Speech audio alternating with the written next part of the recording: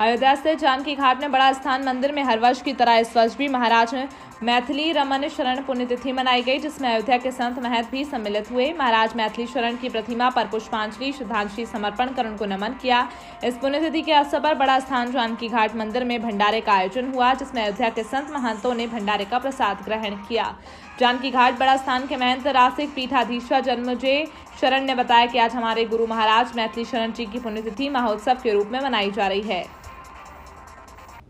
आज हमारे हमारे श्री गुरुदेव भगवान श्रीमान मैथिली रमन शरण जी महाराज जो हमसे पूर्व श्रीमान जी थे यहाँ गद्दी नसीन हमारे श्री गुरुदेव भगवान थे।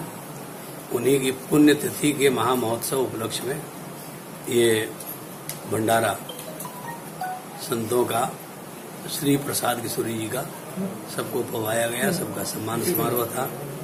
सारे संत महंत आए, सभी की सौहार्दता चूँकि आचार्य पीठ से जुड़ी हुई है, सभी लोग आकर के भगवान के प्रसाद ग्रहण किए और ये प्रतिवर्ष पुण्यतिथि महामहोत्सव चलता है, उसी क्रम में ये भी एक बड़ी थी।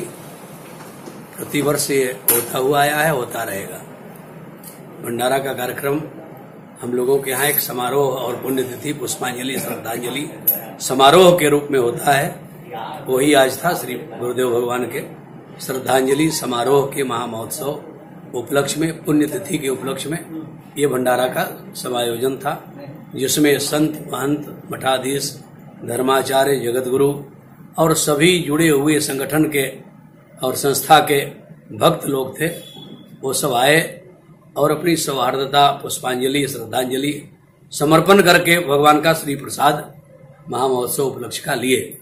जगन्नाथ के भात को जगत बसारे हाथ भगवान का प्रसाद अन्न से अनंत गुना ऊपर है, इसलिए श्री प्रसाद जो किनका ब्रह्मादिक ललचे, शंकर ध्यान लगावे, पवन सुत, राम जी प्रसादी पाओ, वही शैली में भगवान का, श्री प्रसाद का सभी लोग सेवन किए, और मैं रसिक पीठाधीश्वर मान जन्मजय शरण, श्री जानकी घाट बड़ा स्थान अयोध्या जो मूल आचार्य पीठ है रसिक उपासना की, यहाँ से आपके चैनल के माध्यम से आए हुए सभी धर्माचार्यों को, संतों को महंतों को, भक्तों को, संगठन के सभी वरिष्ठ कनिष्ठ पदाधिकारियों को, इस संस्था के स्वामी करुणा सिंधु जी मेमोरियल चैरिटेबल सेवा संस्थान के सभी सदस्यों को, वरिष्ठ कनिष्ठ पदाधिकारियों को, एवं सभी संगठन के जो यहाँ पर आए सबका मैं स्वागत किया और सबको सबके प्रति मेरी